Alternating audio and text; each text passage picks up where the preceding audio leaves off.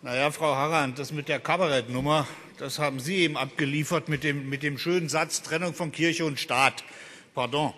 Es ist schon einigermaßen paradox, meine ich, durch diese Stadt irren täglich tausende Menschen, die nicht wissen, wie sie über den Tag kommen und die nicht wissen, wie sie den bevorstehenden Winter überstehen werden.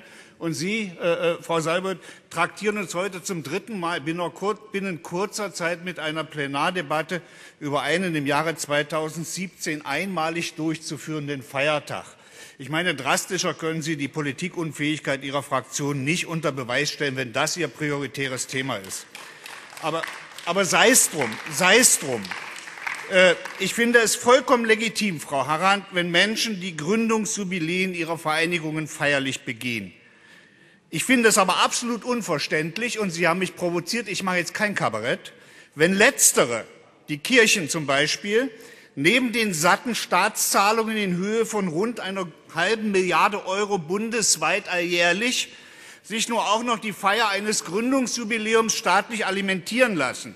Die geplanten 23 Millionen Euro Gesamtkosten für den Evangelischen Kirchentag 2017 in Berlin werden mit 11,9 Millionen Euro, ich sage es nochmal, 11,9 Millionen Euro staatlicher Mittel unterstützt. Das sind einmalige fast 52 Prozent der Gesamtkosten und das Land Berlin ist mit 8,4 Millionen Euro dabei. 8,4 Millionen Euro zum Mitschreiben.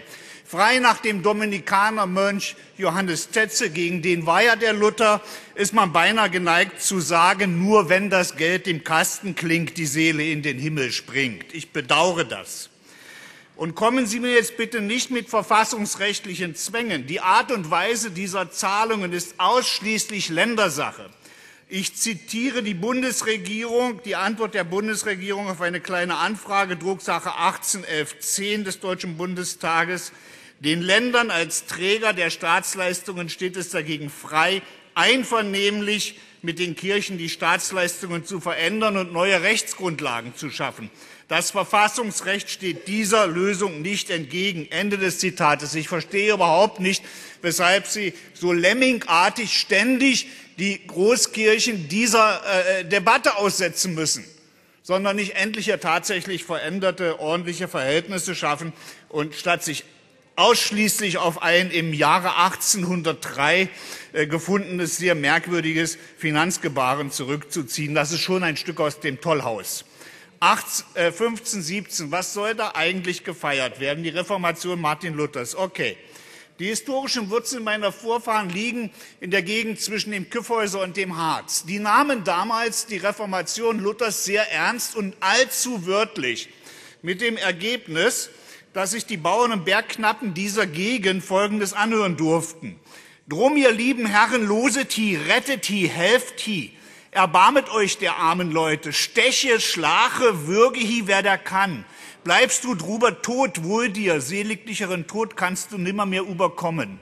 Das war Frühneuhochdeutsch. Und das war Luthers Schrift, ein Zitat aus Luthers Schrift, wieder die räuberischen und mörderischen Rotten der Bauern. Er richtete das natürlich nicht an die Bauern, sondern an die Fürsten. Allein bei Frankenhausen starben 6000. 6000, danach wurden die Dörfer verwüstet. Aber okay, wenn Sie dies feiern wollen, gerne, machen Sie dies. Jadegar Assisi will in seinem Wittenberger Panorama Luther 1517 übrigens auch die Hexenverfolgungen thematisieren.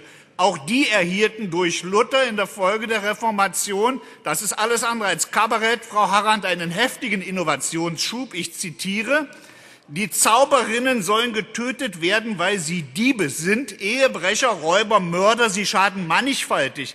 Also sollen sie getötet werden, nicht allein, weil sie schaden, sondern auch, weil sie Umgang mit dem Satan haben. Mindestens 25.000 Menschen gingen in den Feuertod, sicherlich nicht allein wegen Martin Luthers, aber auch. Und das sollen wir feiern. Ich würde, nee, ich bin gleich fertig. Es, äh, ich würde hier lieber Friedrich Spee, einen Jesuiten, der das Ende dieser Frauenverfolgung einleitete, feiern. Aber meinethalben, ich spare mir jetzt die allen bekannten Ausfälle des Reformators gegen die Juden das ist zu heftig, was er da gesagt hat. Das lassen wir mal bitte sein. Aber okay. Ich finde es legitim, wenn die EKD ihr Gründungsjubiläum begeht. Aber machen Sie in Gottes Namen daraus keine Zwangsfeier für die ganze Stadt. Man riecht die Absicht hinter dieser Missionsfeier und man ist verstimmt. Noch dazu, wenn man sie mit bezahlen muss. Aber Sie haben es ja schon angedeutet, Sie winken das durch. Auch darin liegt ein Trost, meinte Luther, nämlich vom 28. bis 31. Oktober 2017 wird Berlin ein langes Wochenende haben. Liebe Berlinerinnen und Berliner, nehmen Sie Ihre Kinder an die Hand, verlassen Sie an diesem Wochenende die Stadt, denn wem Gott will, rechte Gunst erweisen, den schickt er in die weite Welt, dichtete der Freiherr Josef von Eichendorff. Leider haben wir dieses Erlebnis nur einmalig. Wenn Sie ein bisschen Traute hätten, würden Sie den Reformationstag als ständigen Feiertag einführen und aller Heiligen gleich mit, von wegen der konfessionellen Gleichberechtigung. Vielen Dank für die Aufmerksamkeit.